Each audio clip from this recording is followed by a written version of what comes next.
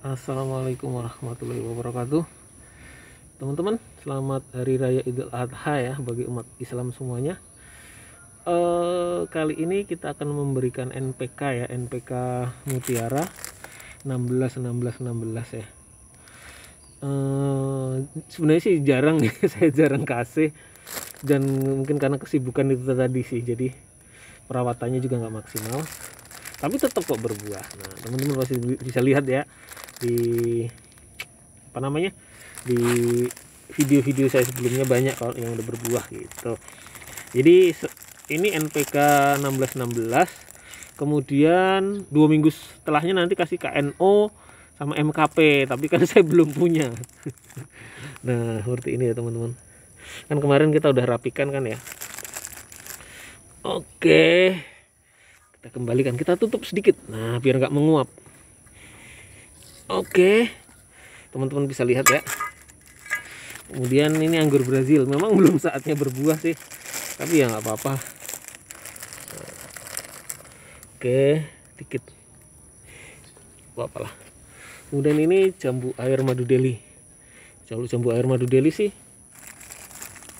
apa namanya ya? Oke gitu. Nah, ya kita kembalikan sedikit biar tidak menguap. Oke. Oke, teman-teman. Nah, oke. Kemudian kita taruh di sini ya. Ini cepat menguap, teman-teman. Nah, ini apa namanya? Sukun merah ya nah, terlihat ada kobakan lele di bawah selokan oke. Kemudian ini farang.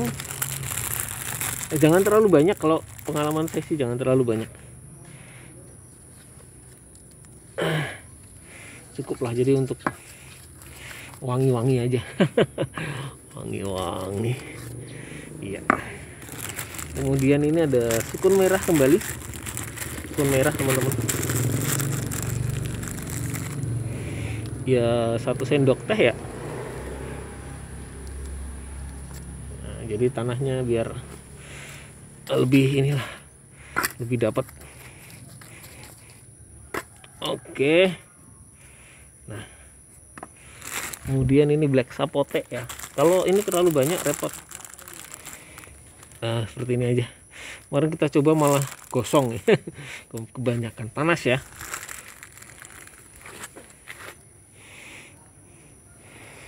Oke oke teman-teman. Ya. Oke kemudian kita ke kristal merah. Eh mohon maaf puimik pala puimik pala ya. Kemudian apa ini ya? Jeruk purut teman-teman. Jeruk purut nah nanti kita rapikan kembali. Kemudian kristal putih. Kristal putih teman-teman. Oke. Nah ini perlu nggak dikasih? Ini apa namanya? Singkong. Plum aussie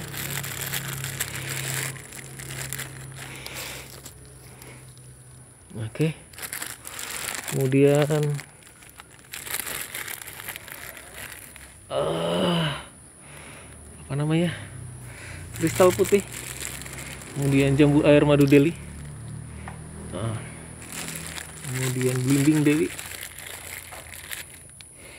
Blimbing dewi teman-teman. Itu lagi. Alpukat mentega. Kemudian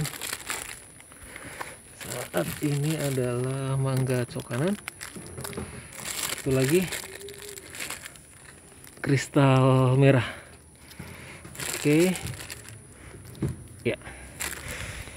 Oke teman-teman. Nah, demikian ya pemberian. Sebenarnya sih ya. Uh, ini harus di dua minggu kemudian KNO sama MKP kalau belum muncul lagi dua minggu kemudian NPK lagi. Seperti itu. Dan memang harus ditimbun pakai tanah ya. Ini nanti kita timbun pakai tanah. Seperti itu mudah-mudahan uh, yang penting gini sih apa ya yang penting kita nanam aja dulu ya sambil belajar lah. Seperti itu ya. Oke dan selamat mencoba